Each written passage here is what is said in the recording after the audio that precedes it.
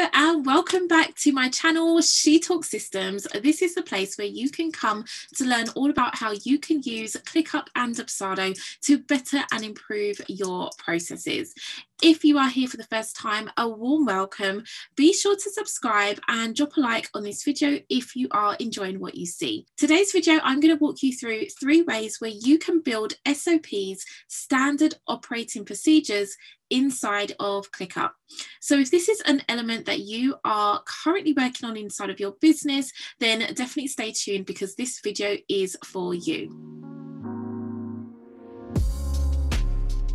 So for today's video, as I said, we are going to cover the topic of SOPs, standard operating procedures in your business. And I'm going to share three ways where you can implement these inside of ClickUp. And this is going to help you to see different methods that you can actually utilize and you can test this out to see what actually works best with your team. So just a quick breakdown so you know exactly what we're going to cover in today's video. We're going to first of all just cover what is an SOP and why you need them in your business. I'm going to walk you through how you can create these SOPs with the use of ClickUp and also we'll just touch on who should be creating and managing the SOPs in your business. So who should actually be taking charge of those behind the scenes in your business. So first of all, what is an SOP? So SOP is a standard standard operating procedure. And this essentially is your way of how you do things in your business.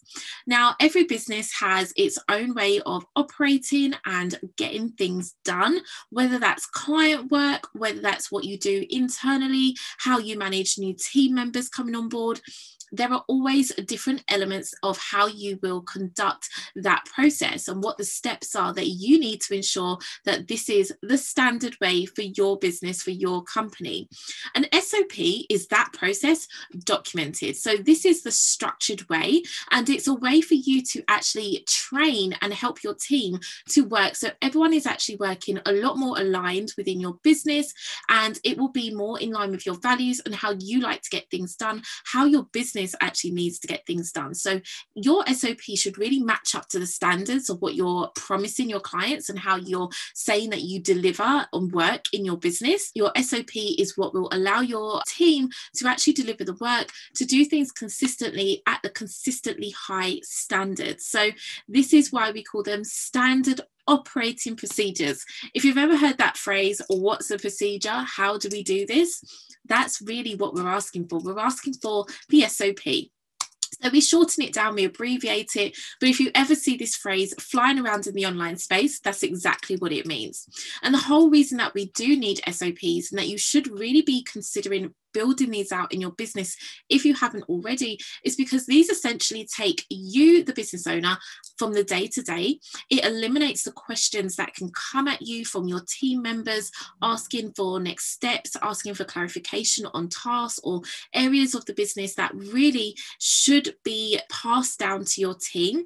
And this is a great way for you to make your company more systemized. So it means that even if your team members leave even if people leave your company company, you still know exactly how things are getting done in your business and it's much easier if you bring on a new person. You can easily use your sop to train them but someone should always be keeping an eye and managing these processes just to ensure that they stay up to date as your business evolves and as you do things in your business. So if anything changes the sop needs to change. So let's dive into the meat of this video. We're going to talk about how you can create sops inside of clickup and i'm going to take you behind the scenes of my own clickup up, I have three ways in which you can definitely implement SOPs. And one of the questions you might ask during this video is Is it actually wise to keep your SOPs or store them inside of ClickUp?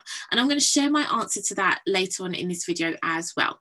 So let's do a bit of a screen share with you guys. All right, so I've got my two screens set up here. So I'm just going to walk you through the first way where you can build out your SOPs inside of ClickUp. And this is by building out an SOP database. So as you can see, this is actually a templated database that I've created. There's not much in here because I am hoping to share this out as a public template. But essentially what you'll see is that we have this database created as a table view, and we will use this area to build out every single SOP that our business requires. Now, one of my rules of thumb is to not document every last bit of your business. That's quite overwhelming, and I don't think your team will like you for it. However, you do want to focus on the core processes that your team will always use and always have to refer back to. So you have to find the balance, and that is definitely a skill and a task in itself. But once you understand the core processes that need to be documented, what you can do is actually create a list for your SOP. So this is a specific list space that I've created. I've housed it within its own folder. So everything stays within its folder. And then essentially what I'm calling this is my core master list. So all of my SOPs can be housed within this particular list. We are going to use a different task. So as you can see as an example, we already have a task in place. So this is a task referring to human resources. It's um, HR SOP. My name is down as the process owner. So I'm in charge of making sure this stays up to date. And we have a tick box here to say whether it's actually been tested or not. And then we can actually link the SOP in this area as well. So what you're seeing here along the top are actually custom fields. And we're using this to build out an SOP database. So that's exactly how we're using them. And then we actually have the task itself. So if we open up the task, the way you would store your SOP is completely down to how it would work best in your business. You have two options. So this brings us kind of into our second point of using tasks as SOPs as well. So you can build out a list and then you can start to refine it using tasks. So within the task, if you are going to use tasks in ClickUp, one way where you can do this is using the description. The description will allow you to pull in all of the content that is needed for this SOP.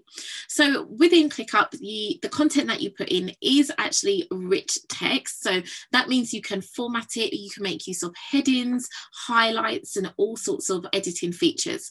So this is a great space for you to actually input text of your SOPs. The only issue here is that you have to be mindful not to close this task down. The owner will always have to refer back to this task, but it does keep everything stored inside of ClickUp.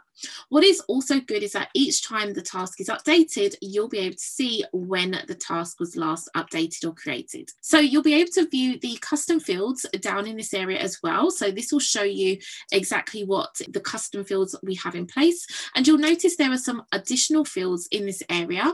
So we have a field where it says created, and that's a text box field. And then we also have a field which says whether it's to start in progress or complete.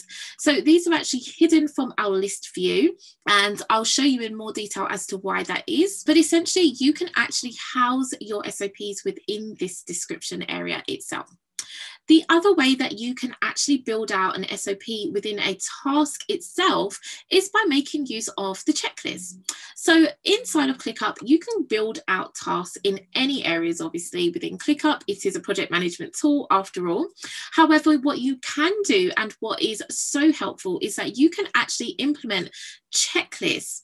Now, the checklists are different to subtasks purely because within a subtask, you can actually view your subtasks on the task view level. So you can pull that out into your main list and you can view it on a task view level. Your checklist is slightly different and it works in the sense that these are the steps that need to be done to cross this task off and mark this task down as fully completed. So essentially, every time you create a task, you can use a checklist and you can add in various points. So you can literally add in, I'm just going to say point one, point two, and point three. Now, you can assign a person to these checklist points. You can definitely do that. You can rename and you can add a new item. What you'll notice that you can't do is create a due date. So they are literally the checklist items to just say that this task has been completed. So this is a great way if you have templated tasks inside of ClickUp, this is a great way for you to manage that SOP for that particular task. So if you do tasks on repeat every every week, every month, every quarter, and that task populates, then this is a great way for you to make sure the SOP is stored and the instructions are there for your team member to follow every time.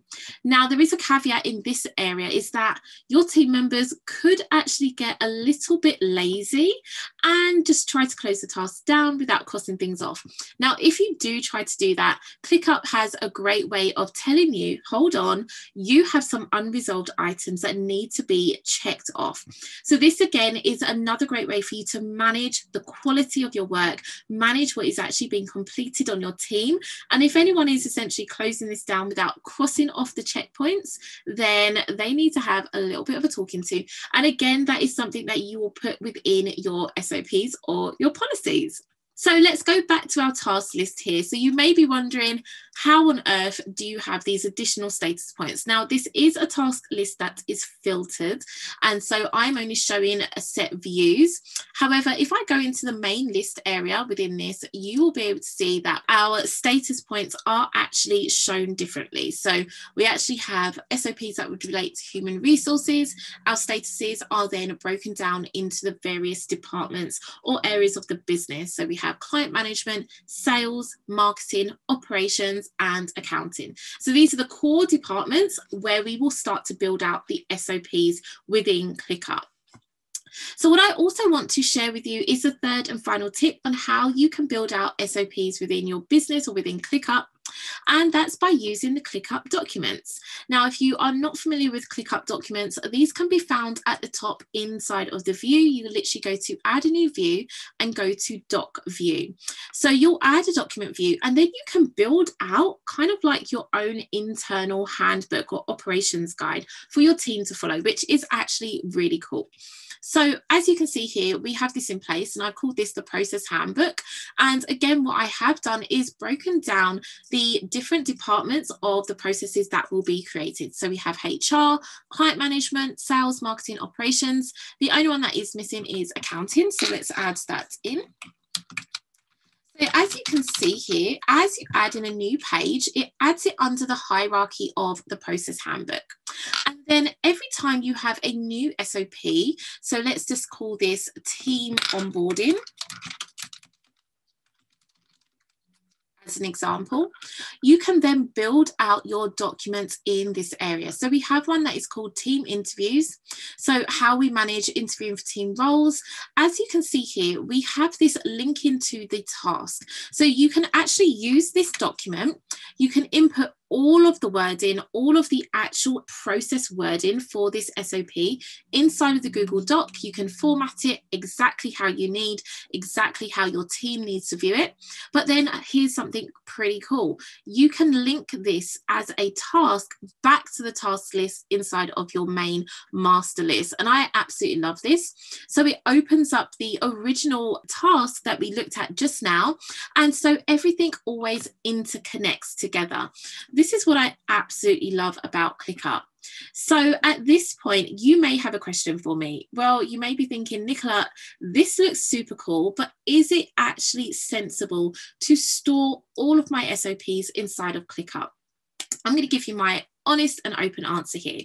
Now, if you feel that your team are going to grow and you are really going to scale and ClickUp is your home base for how you manage and run your business, then I definitely recommend keeping your SOPs in one central location so it makes it much easier for your team to know exactly where to go to get their questions answered and to have your processes updated on an ongoing basis.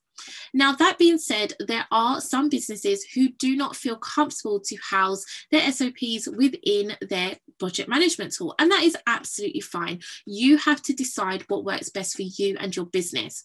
So, if you are looking for an alternative, then you can definitely look at process specific platforms. Or you can also look at course portal platforms such as Thinkific or Teachable. These are other alternatives that you can use to build out essentially your process library.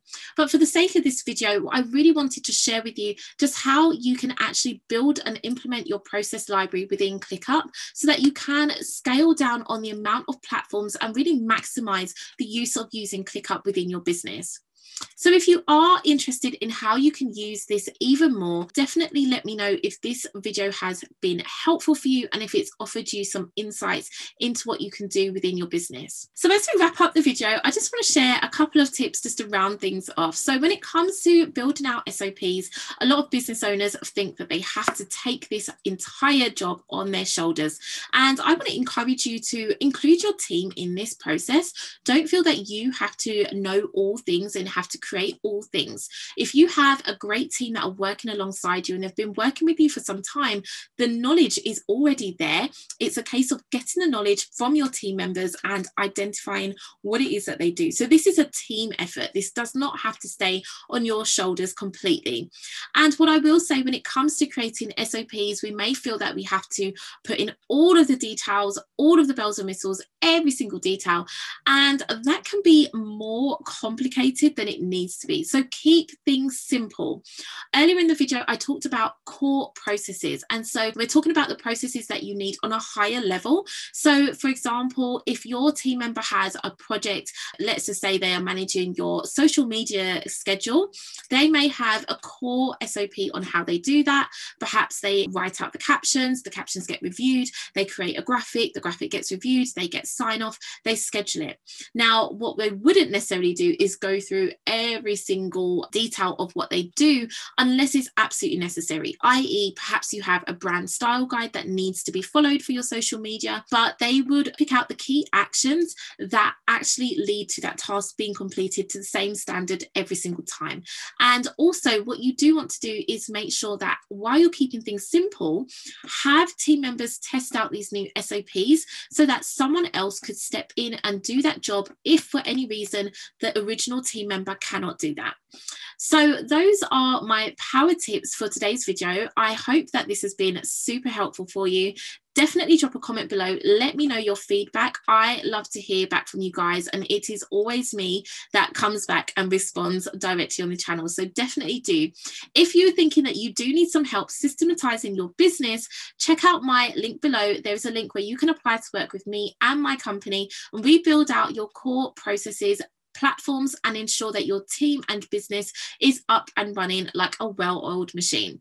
So until next time, thank you so much for watching this video. Be sure to hit subscribe if you haven't done that already, and I will see you guys for our next video. Take care.